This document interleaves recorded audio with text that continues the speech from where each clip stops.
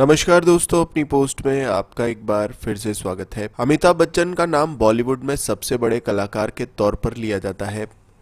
अपने 60 साल के फिल्मी करियर में अमिताभ ने बेशुमार फ़िल्मों में काम किया और इन फ़िल्मों ने उन्हें बहुत ज़्यादा शोहरत भी दिलाई। 3 जून 1973 को अमिताभ ने जया भादुड़ी से विवाह रचा लिया था। अमिताभ बच्चन का नाम बॉलीवुड में सबसे बड़े कलाकार के तौर पर लिया जाता है। अपने 60 साल के फिल्मी कैरियर में अमिताभ ने बेशुमार फ़िल्में और अथाह दौलत कमाई। 3 जून 1973 को अमिताभ ने जया भादुड़ी के साथ विवाह तो कर लिया, लेकिन आज हम आपको बताएँगे कि अमिताभ के पास जया बच्चन से भी ज़्यादा ज्वेलरी बताई जाती है।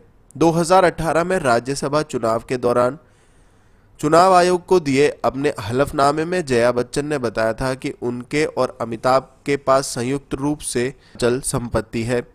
चुनावी हलफनामे के मुताबिक अमिताभ बच्चन के पास पत्नी जया बच्चन से ज़्यादा गहने बताए जाते हैं। जया बच्चन ने बताया था कि उनके पास करीबन 26 करोड़ रुपए की सोने और चांदी के गहने हैं। वहीं अमिताभ बच्चन के पास कुल सैंतीस करोड़ रुपए के आभूषण बताए जाते हैं। गाड़ियों के मामले में भी अमिताभ बच्चन पत्नी से ज़्यादा शौकीन है। जया बच्चन ने बताया था कि उनके पास एक टोयोटा कार है, जिसकी कीमत 9 लाख रुपए है। वहीं अमिताभ बच्चन के पास आलिक शान कारों का जखीरा बताया जाता है।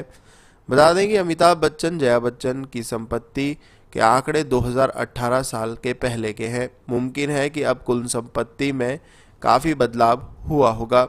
हम आशा करते हैं जानकारी आपको रोचक लगी होगी और आप इसे अपने मित्रों के साथ अवश्य शेयर करेंगे। दोस्तों, चैनल को सब्सक्राइब करना ना भूलें बेल बटन को ज़रूर दबाएँ। धन्यवाद।